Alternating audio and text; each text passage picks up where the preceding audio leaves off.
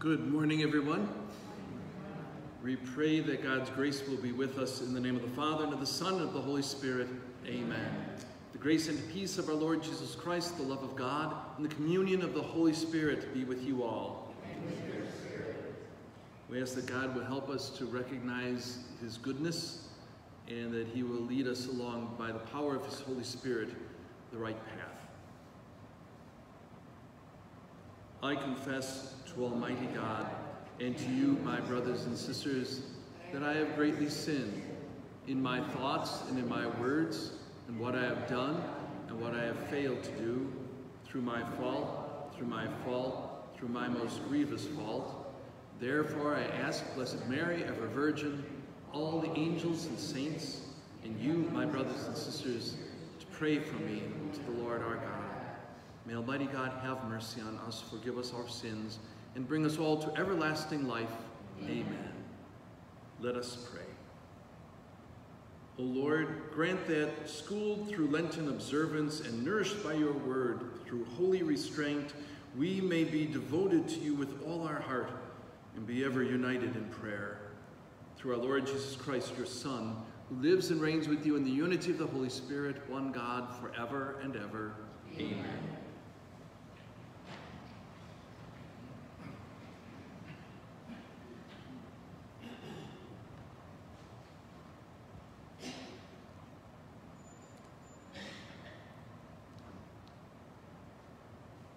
A reading from the book of Deuteronomy.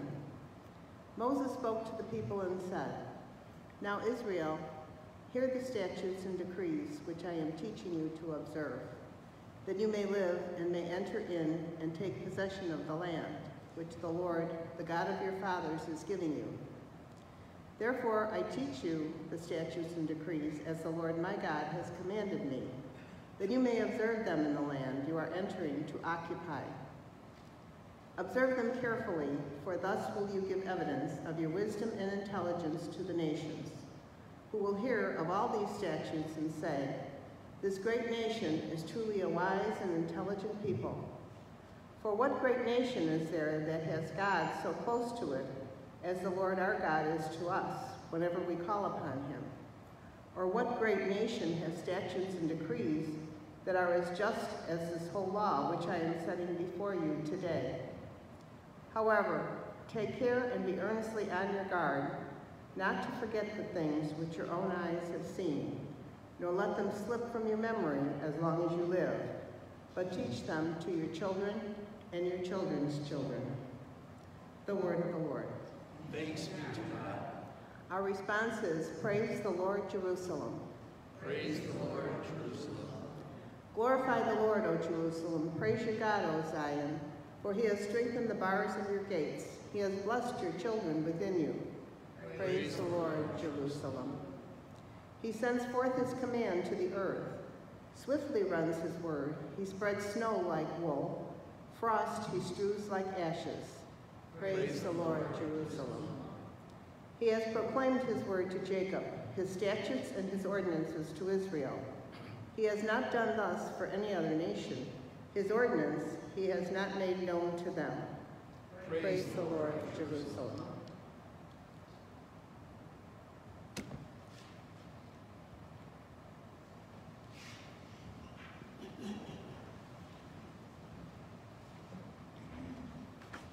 The Lord be with you.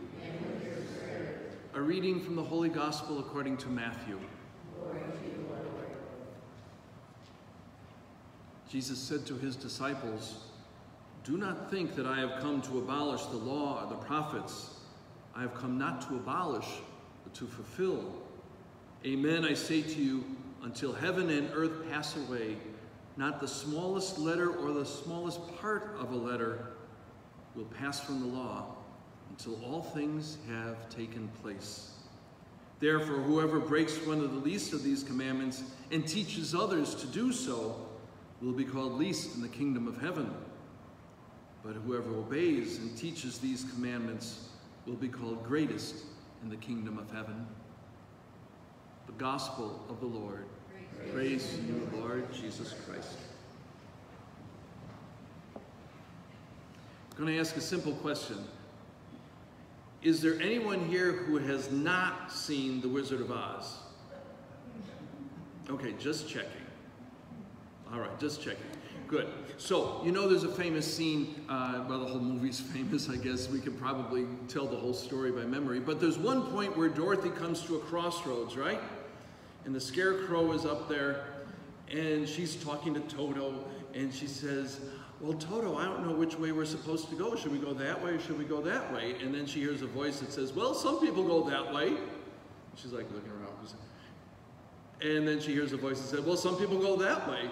And she's looking around, who said that? And then the voice says, the scarecrow, and some people go both ways. And then she realizes who's talking to her, and so she starts a conversation with the scarecrow.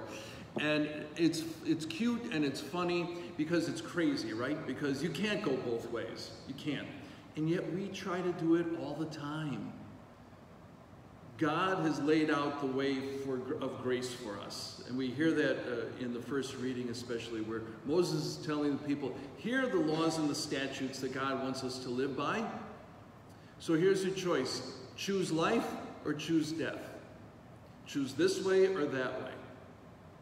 And yet we're constantly trying to go both ways because we want to be a people of grace. We want to be a people who who know and who live by God's word and his statutes and decrees and commandments. And yet, so often we kind of wander off on this other way. We're saying we're going this way, but we're going over here. And we take detours. Because, of course, you know the way to heaven is a straight line. It is a straight line. The shortest point between, the shortest distance between two points is a straight line right? And that's what God has given us. And yet, we love to take detours and turns and U-turns and curly cues and get caught in cul-de-sacs and all these crazy kinds of things that distract us from getting to our ultimate goal of heaven. We try to go both ways. And you know, we can't have it both ways. It doesn't work, except by God's grace. Because every time we take one of those detours, God is always urging us on through his Holy Spirit to get back on that straight line that takes us to heaven. He's constantly offering us his mercy. He's constantly offering his forgiveness. He's constantly offering us the light that guides us to Christ. That's always available to us. It's always ours. And so we can choose the way to life as Moses says. We can choose the way that will guide us to heaven. We can choose the way of discipleship. And there is nothing easy about discipleship. It is sometimes hard, it is sometimes difficult, it is sometimes challenging, it is sometimes can feel like a burden. The fact of the matter is, is that straight line to heaven has got its potholes, it's got its difficulties, it's got its cracks, but it is straight. And God invites us to walk a straight line to be with him. Let's offer our prayers and petitions.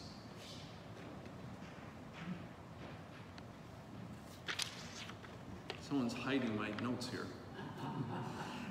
We pray that God will bless us so that we may walk that straight line to heaven. We pray to the Lord. Lord, hear our prayer. That during this season of Lent, we may turn away from sin and be faithful to the gospel. We pray to the Lord. Lord, hear our prayer. Jesus tells us about teaching others to obey his word, and so we ask that God will inspire us and give us the courage always to speak the truth with gentleness and charity we pray to the Lord. Lord, hear our prayer. That God will guide our parish always, that we may be led by the Spirit. We pray to the Lord. Lord, hear our prayer.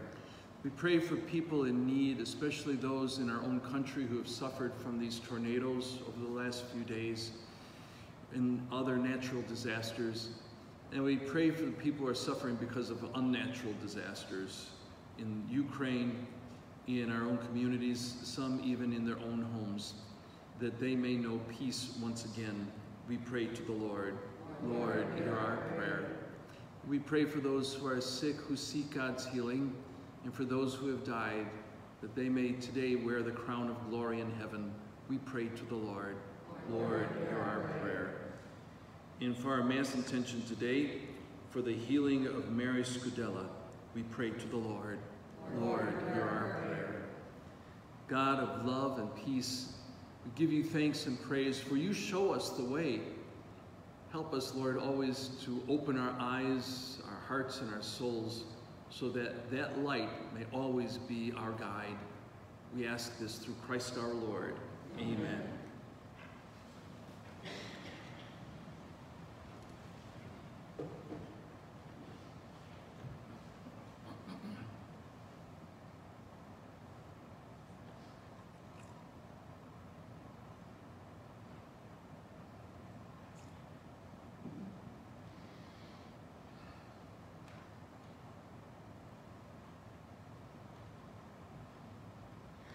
Blessed are you, Lord God of all creation, for through your goodness we've received the bread and wine we offer you, fruit of the earth and work of human hands. It will become for us our spiritual food and drink. And blessed be God forever.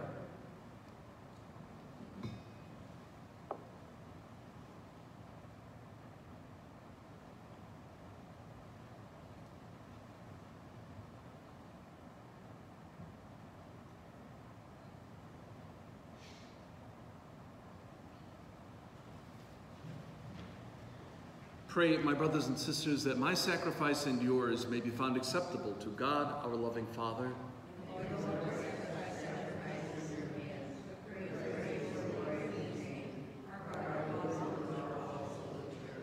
Amen.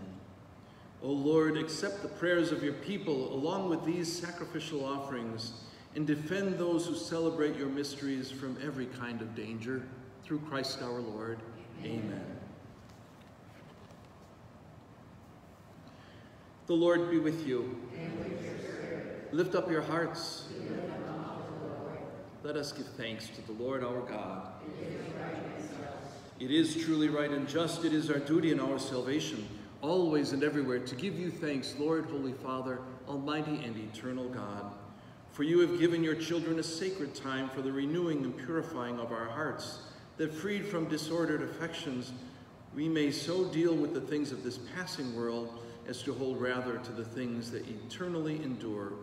And so with all the angels and saints we praise you, as without end we acclaim, Holy, holy, holy, Lord God of hosts, heaven and earth are full of your glory.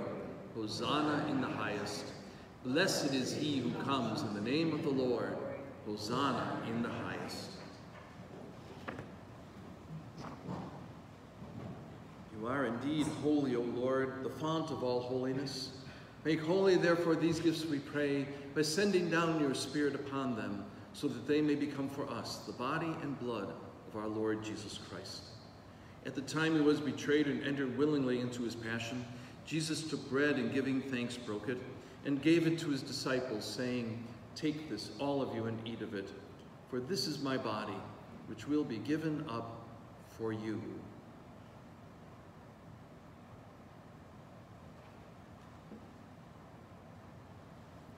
In a similar way, when supper was ended, Jesus took the chalice, and once more giving thanks, he gave it to his disciples, saying, Take this, all of you, and drink from it, for this is the chalice of my blood, the blood of the new and eternal covenant, which will be poured out for you and for many for the forgiveness of sins. Do this in memory of me.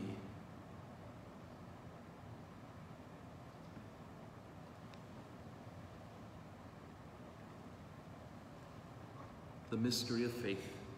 We proclaim your death, O Lord, and profess your resurrection until you come again.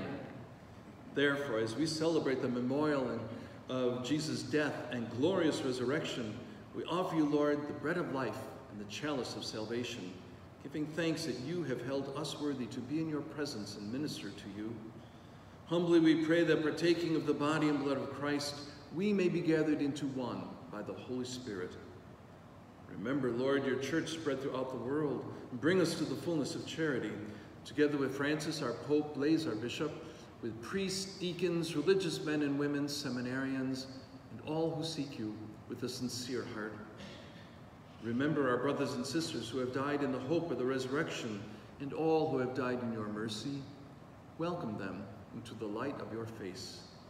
Have mercy on us all, we pray, that with the Blessed Virgin Mary, Mother of God, St. Joseph, her husband, the blessed apostles, St. George, and all the saints who have pleased you throughout the ages, we may merit to be co-heirs to eternal life and may praise and glorify you through your Son, Jesus Christ. Through Christ and with Christ and in Christ, O God, Almighty Father, in the unity of the Holy Spirit, all glory and honor is yours forever and ever. Amen.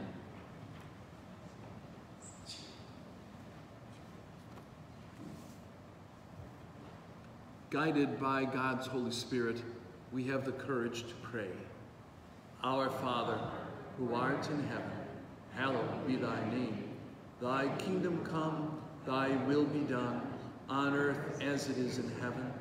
Give us this day our daily bread, and forgive us our trespasses, as we forgive those who trespass against us. And lead us not into temptation, but deliver us from evil. Deliver us, Lord, from every evil. Graciously grant peace in our days, that by the help of your mercy we may be always free from sin and safe from all distress, as we await the joyful hope in the coming of our Savior, Jesus Christ. For the kingdom, the power, and the glory are yours, now and forever.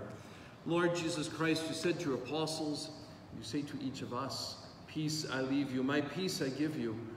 Look not on our sins, but on the faith of your church, and graciously grant us peace and unity in accordance with your will, who lives and reigns forever and ever. Amen. Peace of the Lord be with you always. We offer one another sign of Christ's love and peace.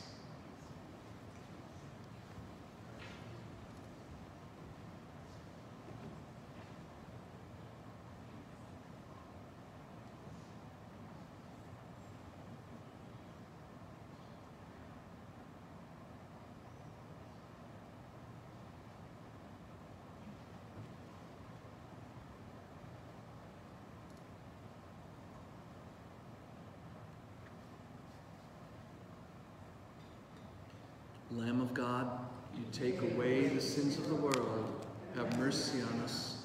Lamb of God, you take away the sins of the world, have mercy on us. Lamb of God, you take away the sins of the world, grant us peace.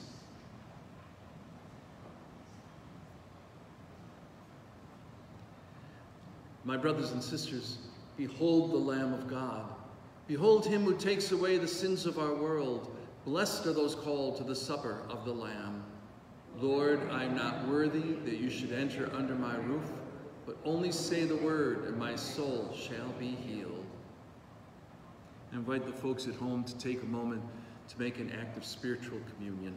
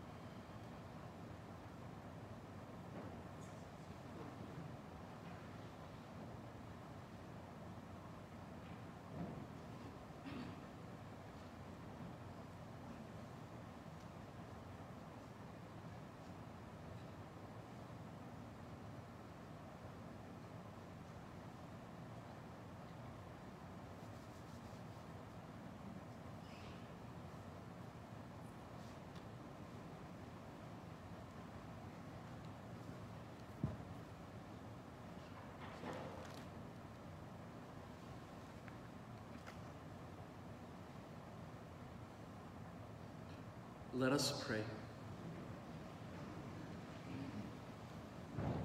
O Lord, may the heavenly banquet at which we have been fed sanctify us and cleansing us of all errors, make us worthy of your promises from on high. Through Christ our Lord. Amen. Amen. The Lord be with you. May Almighty God bless us all, the Father, the Son, and the Holy Spirit. Amen. Amen. My brothers and sisters, this Mass is ended. We go in peace. Thanks be to God. So as Ernie Banks used to say, let's play two. Well, tomorrow we're going to have a double header. We'll have Mass as usual at uh, 8.15, but at 9.15 we're going to be having the school children and their grandparents or special uh, people in their life uh, joining us for Mass at 9.15. So if you feel like sleeping in a little bit tomorrow, you're welcome to join us for that Mass too. Uh, and either way, I hope that it's a blessed day. I hope that this is a good way for you to take that straight path.